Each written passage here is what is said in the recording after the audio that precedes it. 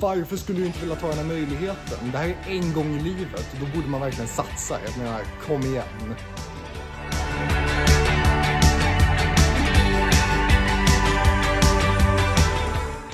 En chans att lära känna nya människor och få, se, få höra andra perspektiv och, bara ha kul egentligen.